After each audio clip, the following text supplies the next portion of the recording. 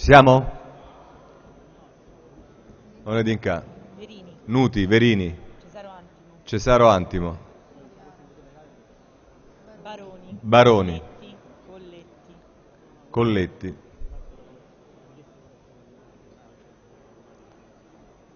Colletti ha votato. Onorevole Simonetti, la pregherei di accelerare gentilmente. La votazione è chiusa.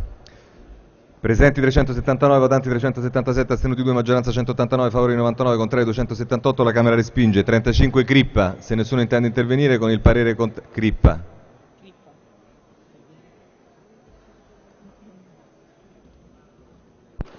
Grazie Presidente. Brevemente chiedo al Governo di valutare un attimo questo ordine del giorno perché di fatto qua chiediamo soltanto di prevedere forme di indennizzo per quelle amministrazioni pubbliche che si troverebbero, come nel caso di Taranto, siano l'ASL, il Vigile del Fuoco, l'Ispettorato del Lavoro, a dover gestire un carico di lavoro ulteriore. Io ricordo a tutti che già in audizione i dirigenti dell'ASL lamentavano la mancanza di risorse per dover gestire un controllo di un'azienda così complessa. Noi qua stiamo dicendo, quando dissequestrate per ragioni inerenti alla sicurezza sul lavoro, quantomeno prevedete una sorta di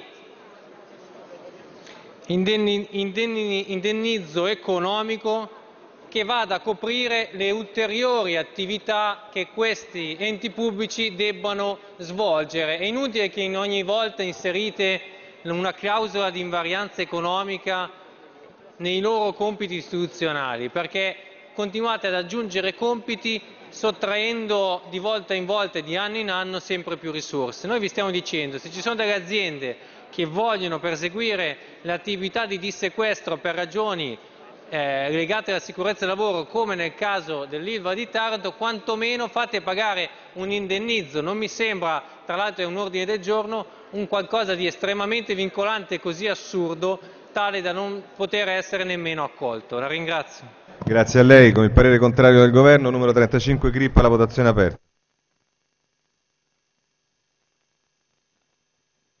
Parere contrario del Governo.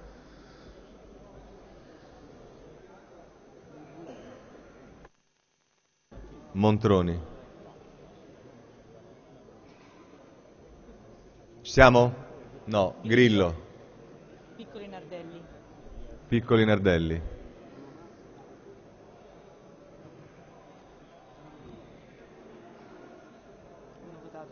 Ci siamo?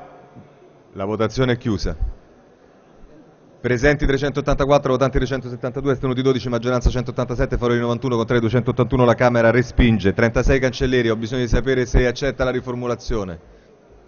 Onorevole Crippa, accettiamo la riformulazione per l'onorevole Cancellieri?